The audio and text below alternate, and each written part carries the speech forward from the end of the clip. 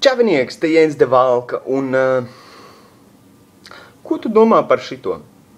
Izrādās, ka vēl nebijuši cenzūru piedzīvo Latvijas Universitātes radio naba vēstures raidījuma TV laikmets veidotāji. Izraels vēstniece Latvijā vērsusies pret ēterā izskanējušo informāciju un vēstulē elektronisko plašsaziņas līdzekļu padomei lūdz veikt pasākums, lai šāda propaganda neturpinātos.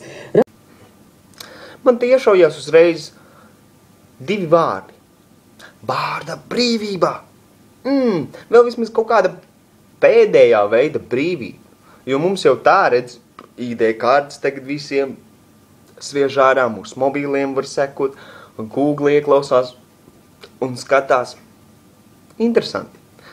Bet redz, runāt par tādām lietām, un ka, pa ko viņi runāja? Viņi reāli, tur bija cilvēks, kas bija kaut ko redzējis, un viņš stāstīja, ko viņš bija redzējis.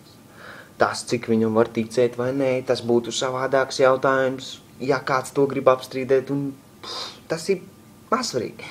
Bet, redz, nedrīkst izteikties. Ne? Tas neatgādina kaut kur padomju savienību, ka cilvēki pazuda. Un kurš vēl būtu to teicis? Izraela, Amerikas speciālais īpašais draugs, kas okupē palestīniešu zemi, un paši ebreji nāk ārā un saka, ka viņi ir kā pret Izraelu kā valsti, kā tādu, tāpēc, ka tā ir palestīniešu okupācija. Mm, bet par to neviens nerunā, un par to arī mēdī nerunās. Ne?